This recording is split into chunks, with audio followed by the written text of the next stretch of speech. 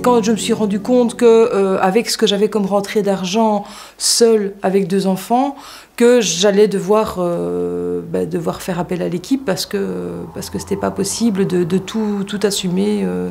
Il fallait compter tous les jours où on en était financièrement. Oui. Alors ça a été la journée. Oui. Il a vraiment fallu euh, me retrouver face à des armoires vides que pour pouvoir euh, dire bon ben là à un moment donné il faut aller voir ce qui se passe.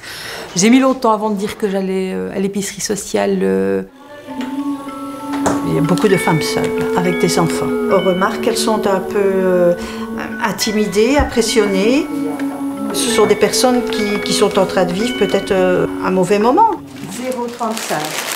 On n'est pas considéré comme un mendiant, ou on n'est pas considéré comme quelqu'un qui euh, n'a pas su gérer sa vie, ou on n'est pas montré du doigt. On est aidé, on est servi, on est entouré. À n'importe qui ça peut arriver. Je pense qu'il ne faut pas se cacher. Personne ne perd sa dignité à devoir à un moment donné euh, devoir demander de l'aide à quelqu'un. C'est humain et c'est digne de faire appel aux autres. Celle-là, elle est plus plate, celle-là.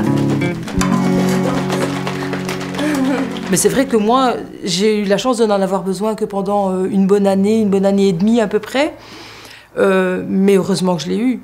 Parce que euh, du coup, je suis restée sur la bonne lignée et j'ai rebondi. Et maintenant, ben voilà, je suis de nouveau dans la vie active et mon salaire suffit à ce que je puisse nourrir mes enfants sans avoir besoin d'aide. Et je suis d'ailleurs allée le jour où j'ai dû ne plus aller au collier alimentaire, je suis allée leur dire bonjour, je suis allée leur dire que j'avais trouvé du boulot, je suis allée partager avec elles ce côté-là aussi. Ah ben, on était contents pour elle. hein. Oui, on, lui- on lui souhaite bonne chance. Parce qu'elles le méritent, elles s'investissent beaucoup là-dedans et euh, je trouvais que c'était important aussi de, de les, tenir, euh, de les tenir au courant que, que ça s'était amélioré et que euh, si j'allais plus les voir, c'est pas que je ne voulais plus, c'est pas que j'avais honte, c'est juste que je n'en avais plus besoin. Je vous ai toujours promis que ça irait mieux, qu'il faudrait être patient. Ah, voilà, maintenant ça va mieux, mais on garde nos crêpes quand même. hein.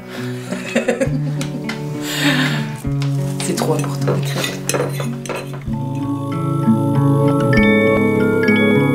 Ensemble, tirons un trait sur la souffrance. Soutenons la Croix-Rouge.